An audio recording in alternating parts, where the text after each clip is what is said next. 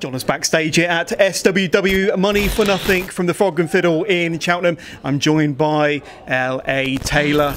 And uh, a very impressive victory tonight, albeit, you know, it was against Ivy, or Karen, Ivy, whatever she calls herself nowadays, in a bat match. So, uh, not quite your cup of tea, but you came out on top and a hell of an opponent tonight.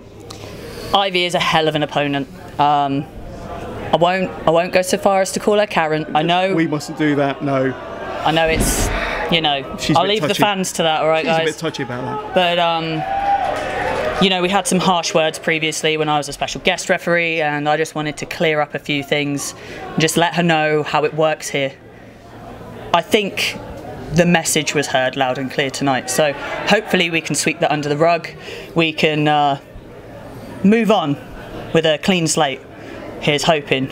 Absolutely. And um, Wrestleverse 3 you became the new number one contender to the SWW Warriors Championship. But looking ahead, Tewkesbury from dusk till dawn, the 28th of October, a very important night for SWW. Uh, and we've got the Warriors show to kick things off.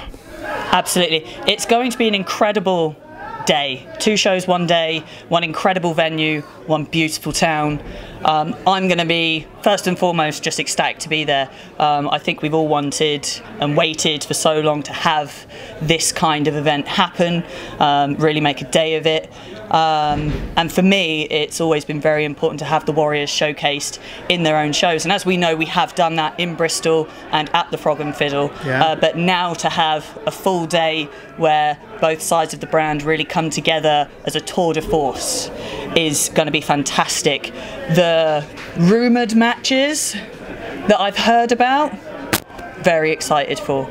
Um, just, I think it's going to be incredible, top to bottom. That's it. Well, already been announced, uh, Charlie Morgan, and I'm sure you're going to be there. So we shall see. Stick to SWW socials to see all the matches get announced as they uh, become announced. But um, uh, do you have any kind of words for the SWW Warriors champion, Charlie Morgan? Because I know that you two have been battling for a while now.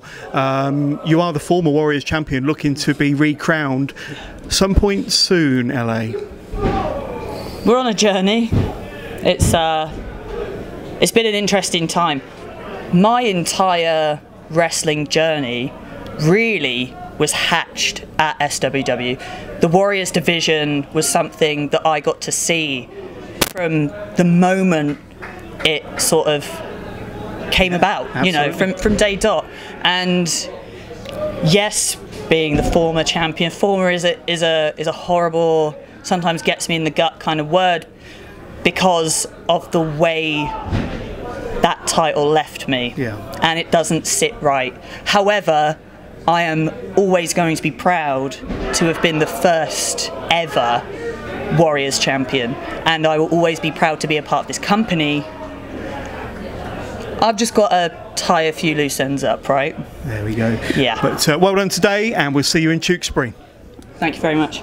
Take care.